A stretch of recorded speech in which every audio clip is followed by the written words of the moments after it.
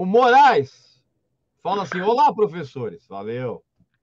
Parabéns pelo trabalho. Obrigado aí, Moraes. O Moraes diz que ele aprende muito com a gente.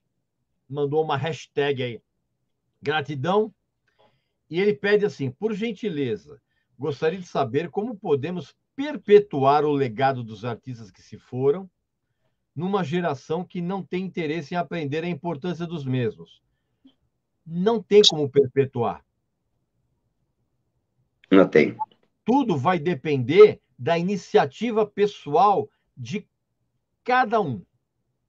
Porque não tem como. Assim, hoje a gente tem a cada ano que passa o, o Paulo é produtor, ele sabe disso. E ele pode me desmentir se eu estiver errado. Aliás, o Paulo ele me desmente até quando eu estou certo. A cada ano, Paulo, você, você repara que a, a, o nível mental das plateias vai caindo. Sim. A cada show, a cada ano, mais e mais bobalhões vão aos shows e ficam aí se brigando na, nas redes sociais.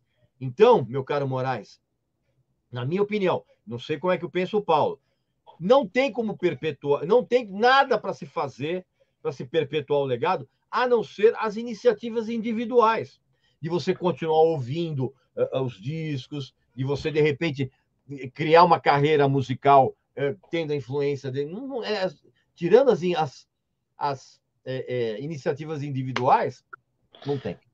Moraes, eu, eu simples, o que estamos falando desde o princípio dessa live, que inclusive surpreendidos aqui, como uma pessoa vem e fala que que bom que morreu Erasmo Carlos, que bom que morreu Gal Costa.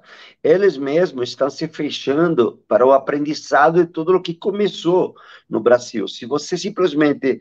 Eu já fiz esse, esse comparativo mental, tá? da música de Erasmo Carlos com, por exemplo, o Barão Vermelho. Eu vejo uma conexão entre eles, sabe? Eu vejo um fio condutor entre eles.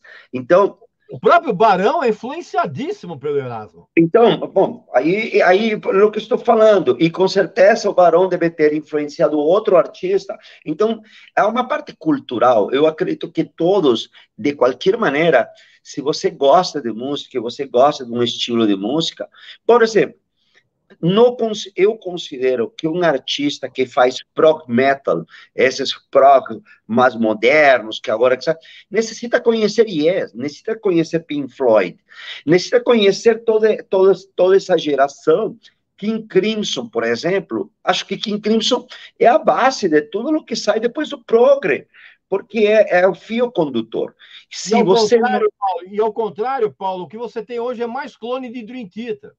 Então, exatamente. Então, se você não vai e busca esse fio condutor, você não consegue chegar a, a, a, a, um, a um resultado final grandioso. Isso é minha, é minha, minha opinião. E olha que eu tenho trabalhado com muitos artistas, e mais, quando eu converso com artistas já consagrados, grandes, eles mesmos te falam de, dos fio condutor deles, sabe? Deles, qual foi, por exemplo, você vê o Keith Richards chocado, triste com a morte de Jerry Lee Lewis, ele escrevendo, o, o Big Jagger agradecendo, fez um texto lindo pela morte, sabe, eh, dando a reverência a, a, ao, ao Jerry Lee Lewis. Então, isso demonstra como é importante o legado. Agora eu te digo quantas bandas não saíram do Rolling Stones e quantas não saíram do ACDC. Só que a ACDC foi muito influenciado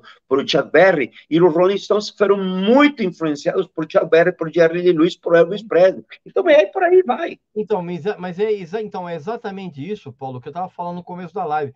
Hoje eu não vejo nomes, bandas, artistas que tenham uma, uma, um, um, um poder de influência tão grande quanto esses caras tiveram no passado, cara. Por mais que eu goste, por exemplo, do trabalho do The Weeknd, que eu acho que para mim hoje é o grande nome do pop. Sim.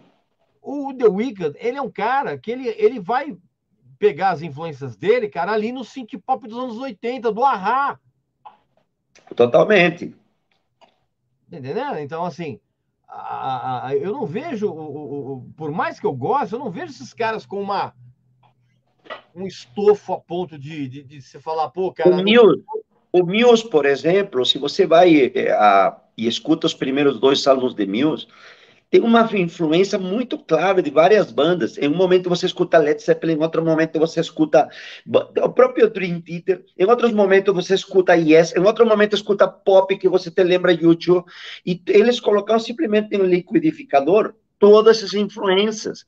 Então, quando você, quando você vai buscando, e o Coldplay no princípio todas as influências que ele tinha do próprio YouTube. Só que se você vai buscar YouTube, YouTube foi influenciado por outros grandes lá atrás. E, e, você, e, você, vê gente hoje, eu vejo hoje gente da empresa falando que o Muse é metal.